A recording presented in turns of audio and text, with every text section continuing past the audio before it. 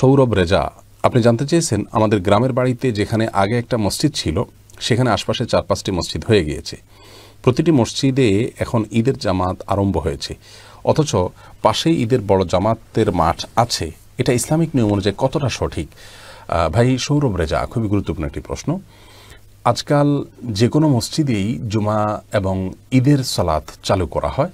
যেটা ইসলামী শরিয়ার দৃষ্টিকোণ থেকে উচিত নয়। ইসলামী শরিয়ার দৃষ্টিকোণ থেকে উচিত হলো, ছোট্ট কোনো পাড়ায় একটা মসজিদ থাকবে যেখানে মানুষ পাঁচক্ত সালাত একত্রিত হয়ে পড়বেন, জামাতের সাথে পড়বেন, আর কয়েকটি পাড়ার মানুষ মিলে একত্রিত হয়ে জুমা সালাত আদায় করবেন। তার মানে যেটা জামে মসজিদ হবে, সেটা কয়েকটা পাঞ্জাগানা মসজিদ মিলে একটা জামে মসজিদ হবে। জামে শব্দের অর্থটাই হলো যে একত্রকারী। তার মানে আশপাশের কয়েকটা মহল্লার বা পাড়ার মানুষকে একত্র করে যে মসজিদে, সেটা হলো জামে মসজিদ। আর ঈদের জামাত যেটা, সেটা হবে আরও ব্যাপক পরিসরে। অর্থাৎ কয়েকটা জায় মসজিদের মুসল্লিদেরকে একত্র করে ঈদের জামাত হবে। আল্লাহ রব্বুল আলম চান যে একটা পাড়ার প্রতিটা ঘরের মানুষ দিনে পাঁচবার একত্র হন আর কয়েকটা পাড়ার মানুষ সপ্তাহে একবার তারা সাক্ষাৎ করুন, একে অন্যের সাথে দেখা করুন এবং আল্লাহ ইবাদতের জন্য একত্র হন। আর আশপাশের কয়েকটা মহল্লা বা কয়েকটা জামে মসজিদের মুসল্লিরা সমবেত হন আরও বড় পরিসরে ঈদের ময়দানে।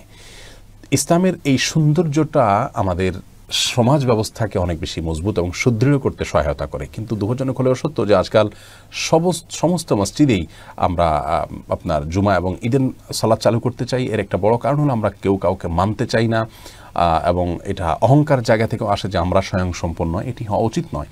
বরং ইসলাম যেভাবে এই ফরম্যাটগুলো রেখেছে সেটাকে খেয়াল করা উচিত। জামে মসজিদ নামকরণের যে সার্থকতা, সেটাই তখন হবে যখন কয়েকটা ওয়াক্তিয়া মসজিদ মিলে একটা জামে মসজিদ হবে।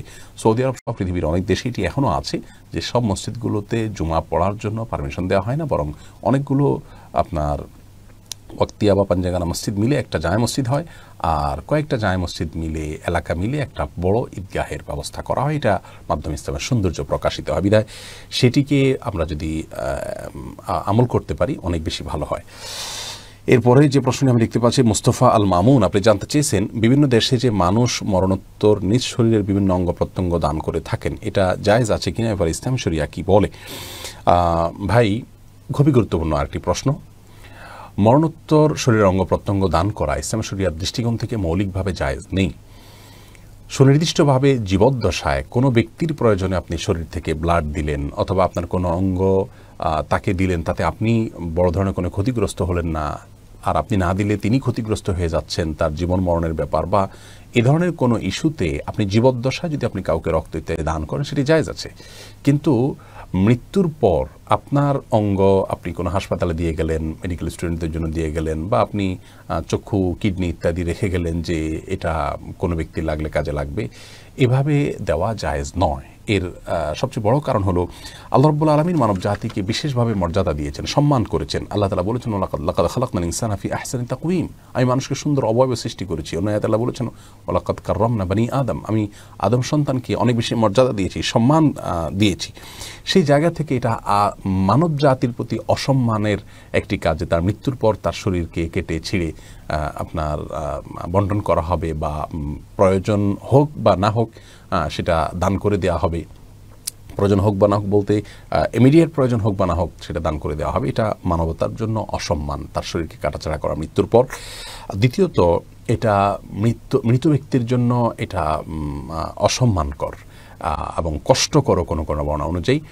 যার কারণে এটি করা উচিত না যদিও মানুষের মৃত্যুর পর তার অনুভূতি থাকে না, কিন্তু কোনো কোনো কোনো বর্ণনা থেকে অনেক ওলামা একরাম মৃত ব্যক্তির এক ধরনের বিশেষ অনুভূতি থাকে বলে মন্তব্য করেছেন বিভিন্ন হাদিসের আলোকে। সেই জায়গা থেকে এটি তার জন্য উচিত নয়।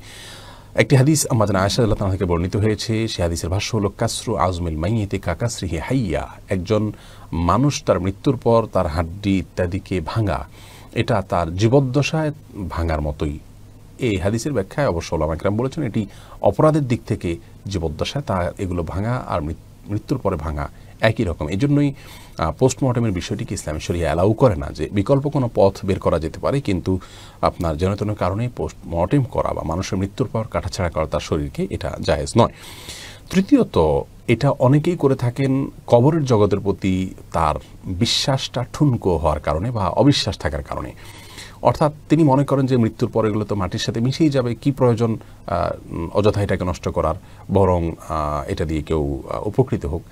আপাত দৃষ্টিতে খুব চমৎকার একটা দৃষ্টিভঙ্গি এটি, মূলত এটি অন্তঃসার শূন্য আল্লাহ রবুল আলমিন কোরআন হাকিমে বলেছেন অমি ওরা ইহিম বারজাহন ইলে অমি বাসুন ইলাই আখরিল আয়া।